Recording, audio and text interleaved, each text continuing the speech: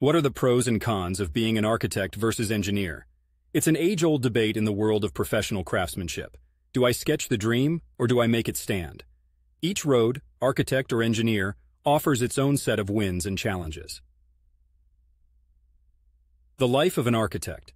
Starting with architects, their realm is one of creativity and vision. They're the ones you go to when you want something birthed from just a glimmer in the eye. Architects are dream weavers turning ideas into blueprints and eventually physical structures. Pros. Creativity. If you're the type that doodled cities instead of taking notes in class, architecture might be up your alley. This field allows you to express ideas and leave a mark on the landscape. Variety. Projects can vary wildly, from residential homes to massive public infrastructure. Your portfolio could look like a magician's hat, always pulling out something new and wondrous. Impact. The buildings you design could define skylines and communities for generations. There's a legacy in the concrete and steel that's decidedly satisfying. Cons. Long hours. Don't be fooled by the picturesque visions of drafting tables and pinnacle designs. Architecture can be a grind. Deadlines often mean burning the midnight oil. Regulations and restrictions. Imagination has a nemesis called building codes. Sometimes the grandest ideas are grounded by the harsh reality of safety standards and zoning laws. Competitive field. Standing out among a sea of black turtlenecks isn't easy.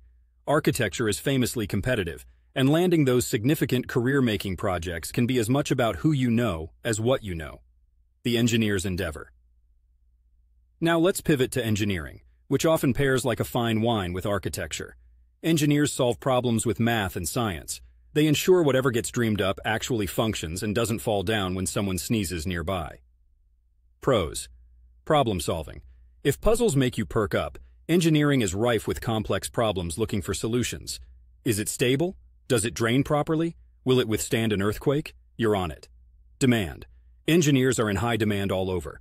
There's a certain job security in being the person who can prevent a tower from tumbling. Diverse disciplines. Perhaps today you're civil, tomorrow mechanical. Or you might feel the call to be electrical, chemical, or even an aerospace engineer. The paths are plentiful. Cons technical rigor. You had better befriend mathematics and physics because they'll be your constant companions. Even small errors can lead to significant failures. Responsibility. With great calculations comes great accountability. If things go south, you're part of the team that has some serious explaining to do. Less design, more function. If you pine for aesthetic expression, you might find the practical focus of engineering less thrilling. Beauty, in this case, is in the function more than the form. As someone residing in Portland, Oregon, a city renowned for its blend of innovative architecture and engineering marvels, the mesh between the two fields is evident in our eclectic skyline and bridges. Each profession feeds into the other, creating a symbiotic dance of form and function that makes our urban spaces not only work, but also inspires. Whether you're breathing life into your vision as an architect or calculating the intricacies of function as an engineer, the built environment offers a canvas for both.